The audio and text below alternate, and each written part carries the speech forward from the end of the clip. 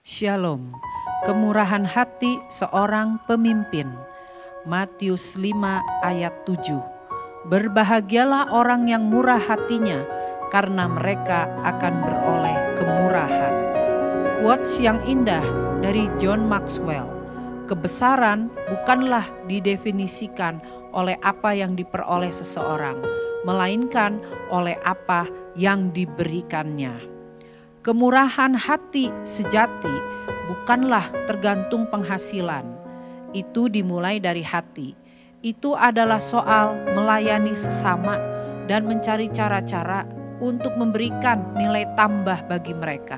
Demikianlah caranya meraih kebermaknaan dalam hidup Anda. Jadikanlah murah hati bagian dari kehidupan Anda sehari-hari. Jangan menunggu untuk bermurah hati, mulailah dari sekarang. Itu akan menjadikan kita berbahagia dan akan mendatangkan manfaat bagi orang yang kita beri tersebut.